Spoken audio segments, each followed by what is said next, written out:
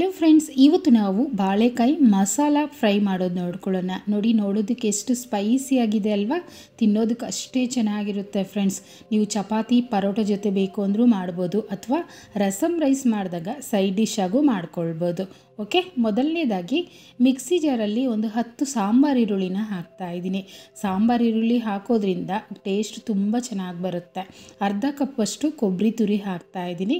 ಕೊಬ್ಬರಿ ತುರಿ ಇಲ್ಲ ಅಂದರೆ ಕಾಯಿ ತುರಿನೇ ಸೇರಿಸ್ಕೊಳ್ಳಿ. ಅದಾದ ನಂತರ ಮೂರು ಬ್ಯಾಡಗಿ ಮೆಣಸಿನ್ಕಾಯನ್ನ ಕಟ್ ಮಾಡಿ ಸೇರಿಸ್ತಾ ಇದ್ದೀನಿ. ಜಸ್ಟ್ ಫ್ಲೇವರ್ಗೋಸ್ಕರ ಹಾಗೆ ಅರ್ಧ ಟೀ ಸ್ಪೂನಷ್ಟು ಸೋಂಪು, ಅರ್ಧ ಟೀ ಸ್ಪೂನಷ್ಟು ಜೀರಿಗೆ ಹಾಕ್ತಾ ಇದ್ದೀನಿ. ಜೀರಿಗೆ ಮತ್ತು ಸೋಂಪು ನೀವು ಒಗ್ಗರಣೆಗೆ ಹಾಕ್ಕೊಳ್ತೀನಿ ಅಂದರೂ ಹಾಕ್ಕೊಳ್ಬೋದು ಅರ್ಧ ಟೀ ಸ್ಪೂನ್ ಮೆಣಸು ಹಾಕಿ ಇದನ್ನು ತರ್ತರಿಯಾಗಿ ರುಬ್ಕೊಳ್ಳೋಣ. ನೋಡಿ, ಈ ರೀತಿ ರುಬ್ಬಿಟ್ಟಿದ್ದೀನಿ.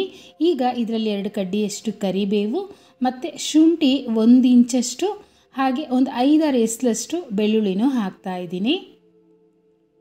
ಇದನ್ನು ಅಷ್ಟೇ ನಾವು ಸ್ವಲ್ಪ ಸ್ವಲ್ಪ ನೀರನ್ನು ಹಾಕಿ ತರ್ತರಿಯಾಗಿ ರುಬ್ಕೊಳ್ಳೋಣ. ಅದಾದ ನಂತರ ಮೂರು ಬಾಳೆಕಾಯಿ ತೊಗೊಂಡಿದ್ದೀನಿ. ಚೆನ್ನಾಗಿರೋದು ತೊಗೊಂಡಿದ್ದೀನಿ ನೋಡಿ. ಅಂದರೆ ಹಸಿರಾಗಿರೋದನ್ನು ತೊಗೊಂಡಿದ್ದೀನಿ. ಇದ್ರ ಮೇಲೆ ಸಿಪ್ಪೆ ತೆಗೆದು ಕಟ್ ಮಾಡಬೇಕು ನಾವು. ಹಾಗೆ ಕೈಯಲ್ಲಿ ಕಟ್ ಮಾಡಿದ್ರೆ ಕಪ್ಪಾಗುತ್ತೆ ಕೈಯೆಲ್ಲ. ಅದರಿಂದ ಕೈ ಪೂರ್ತಿಯಾಗಿ ಎಣ್ಣೆ ಅಪ್ಲೈ ಮಾಡಿಕೊಂಡು ನಂತರ ಕಟ್ ಮಾಡಿ. ಆಗ ನಮಗೆ ಕೈ ಕಪ್ಪಾಗೋದಿಲ್ಲ. ಬಾಳೆಕಾಯಿನೂ ಕಪ್ಪಾಗೋದಿಲ್ಲ. ಓಕೆ? ಅದಾದ ನಂತರ ಈಗ ಸ್ಟವ್ ಮೇಲೆ ಕಡಾಯಿ ಬಿಸಿ ಮಾಡಿ ಒಂದು ಐದಾರು ಸ್ಪೂನಷ್ಟು ಎಣ್ಣೆ ಹಾಕ್ತಾ ಇದ್ದೀನಿ. ಸ್ವಲ್ಪ ಹೆಚ್ಚಿಗೆ ಹಾಕ್ಕೊಳ್ಳಿ. ಇದರಲ್ಲಿ ನಾವು ಕಟ್ ಮಾಡಿಟ್ಟಿರೋಂಥ ಬಾಳೆಕಾಯನ್ನು ಸ್ವಲ್ಪ ಸ್ವಲ್ಪ ಹಾಕ್ಕೊಳ್ತಾ ಫ್ರೈ ಮಾಡ್ಕೊಳ್ಳೋಣ. ಈ ರೀತಿ ಎಣ್ಣೆಲೆ ಒಂದು ಅರ್ಧ ಭಾಗದಷ್ಟು ಫ್ರೈ ಮಾಡಿ ನಂತರ ನಾವು ಪಲ್ಯ ಮಾಡ್ಕೊಳ್ಳೋದ್ರಿಂದ ಬಾಳೆಕಾಯಿ ಸಾಫ್ಟ್ ಆಗಿರುತ್ತಲ್ವ? ಆಗ ಮಸಾಲೆ ಚೆನ್ನಾಗಿ ಹೊಂದ್ಕೊಳ್ಳುತ್ತೆ. ಅದರಿಂದ ಈ ರೀತಿ ಚೆನ್ನಾಗಿ ಮೊದಲೇ ನಾನು ಫ್ರೈ ಮಾಡಿ ಎಲ್ಲನೂ ತೆಗೆದಿಟ್ಕೊಳ್ತೀನಿ. ನೋಡಿ, ಇಷ್ಟ ಆದರೆ ಸಾಕು. ಇದನ್ನು ತೆಗೆದು ಪ್ಲೇಟಲ್ಲಿ ಹಾಕ್ಕೊಳ್ಳೋಣ. ಅದೇ ಎಣ್ಣೆಲೆ ಈಗ ಒಂದು ಕಟ್ ಮಾಡಿ ಸೇರಿಸ್ತಾ ಇದ್ದೀನಿ. ಸ್ವಲ್ಪ ದೊಡ್ಡ ಸೈಜಲ್ಲೇ.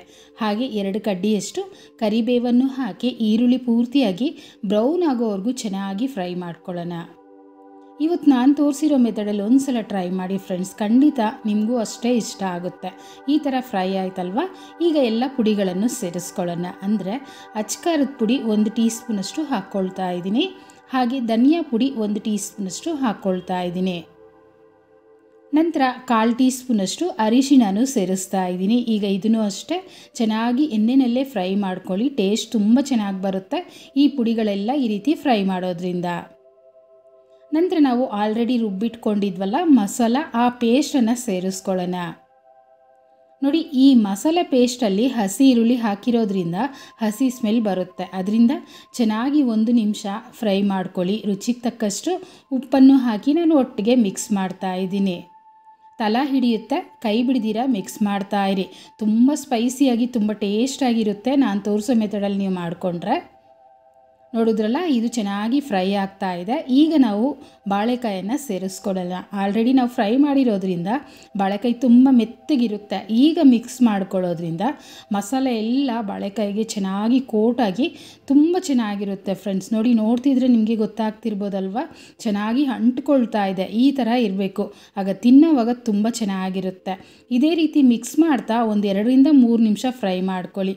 ನಿಮ್ಗೆ ಏನಾದರೂ ತಲ ಹಿಡಿತಾ ಇದೆ ಅನಿಸಿದ್ರೆ ಒಂದು ಸ್ವಲ್ಪ ಸ್ವಲ್ಪ ನೀರನ್ನು ಚಿಮ್ಕಿಸ್ಕೊಳ್ಳಿ. ನೋಡಿ, ನಾನು ಟೀ ಗ್ಲಾಸಲ್ಲಿ ಒಂದು ಅರ್ಧ ಗ್ಲಾಸಷ್ಟು ಮಾತ್ರ ನೀರನ್ನು ಹಾಕಿ, ಸ್ಟೌವನ್ನು ಮೀಡಿಯಮ್ ಫ್ಲೇಮಲ್ಲಿಟ್ಟು ಚೆನ್ನಾಗಿ ರೋಸ್ಟ್ ಮಾಡ್ಕೊಳ್ತೀನಿ.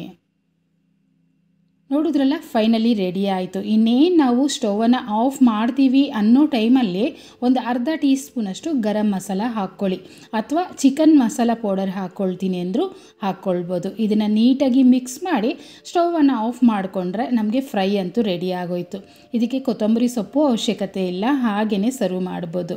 ಇದ್ರ ಜೊತೇಲಿ ನೀವು ಚಪಾತಿ, ಪರೋಟ, ಪೂರಿ ಮಾಡ್ಬೋದು. ಇಲ್ಲ ಅಂದರೆ ರಸಮ್ ರೈಸೋ, ಬೇಳೆ ಸಾರೋ ಮಾಡಿದಾಗ ಸೈಡ್ ಡಿಶಾಗೂ ಮಾಡ್ಕೊಳ್ಬೋದು. ನೋಡಿದ್ರಲ್ಲ ಫ್ರೆಂಡ್ಸ್ ಎಷ್ಟು ಸ್ಪೈಸಿಯಾಗಿ, ಎಷ್ಟು ಸಿಂಪಲಾಗಿ ಮಾಡ್ಕೊಂಡ್ವಿ ಅಂತ ಒಂದು ಸಲ ಈ ಮೆಥಡಲ್ಲಿ ಟ್ರೈ ಮಾಡಿ ನೋಡಿ. ಹೇಗೆ ಬಂತು ಕಮೆಂಟ್ ಮಾಡಿ, ಮತ್ತು ಲೈಕ್ ಮಾಡಿ ಶೇರ್ ಮಾಡಿ ಚಾನಲ್ ಸಬ್ಸ್ಕ್ರೈಬ್ ಮಾಡ್ಕೊಳ್ಳಿ. Thank you